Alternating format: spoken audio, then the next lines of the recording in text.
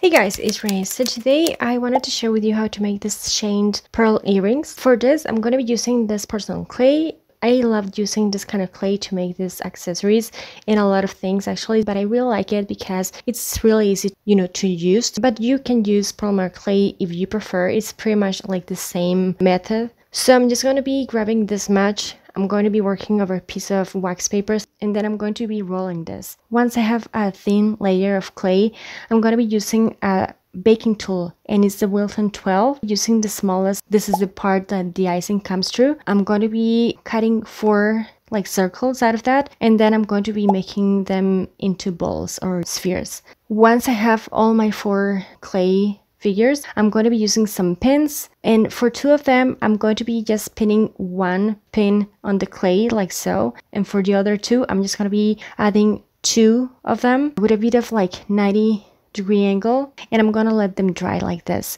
If you are using polymer clay for this, work with regular or just standard pins and then bake it. Then I'm gonna use this uh, nail polish that I love the color of it. It's like pearly, painting them so they can resemble pearls. If you know of any uh, acrylic paint pretty one that looks like pearls just let me know down below i'm looking for one but yeah then i'm gonna let them dry in a piece of block of foam i'm gonna be using this dainty chain that is like copper. I don't really know what's the name of the chain. I just saw it on the store. Then I'm going to be using uh, for your wires. You can use eye pins for this, but I just had them in gold. But yeah, so I'm just going to be cutting that part, like the ring part, and then turn them into eye pins. I'm going to be cutting my chain into one inch twice for each earring. I'm just going to be making sure my chains, like two chains, are the same size or the same length. I'm going to use two ear posts and I'm going to cut like the disc part because I just need the pointy part of the earring. I'm going to remove pins and pretty much then going to assemble the whole thing using my super glue,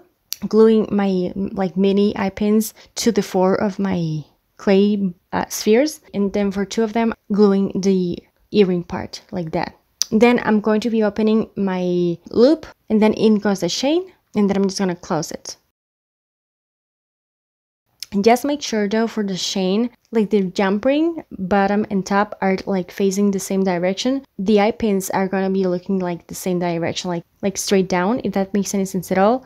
Like here, this is what happens when your chain is like uneven. It's like a detail that is almost not visible when you're wearing the earrings as you're moving. But yeah, something to keep in mind. But yeah guys, these are the earrings that I want to share with you. You can paint them if you don't want them pearl and you want them black for Halloween or just something else, you can do that. But yeah, I just wanted to share with you these ones. I love them. They're really easy to, to pair off with anything. You can dress them up, dress them down. For me, they look the nicest when my hair is up because the earring becomes the whole uh, focal point. To me, they look kind of like vintage and dainty, but with a bit of edge. They're easy to make, pretty lightweight, and they go with everything. But yeah, I really hope you like this beautiful pair. If you did, don't forget to give this video a thumbs up. Check out more earrings that I have on my channel, subscribe for more, let me know what you think of them, and share them. Thank you so much for watching, I'll talk to you later, and take care. Bye!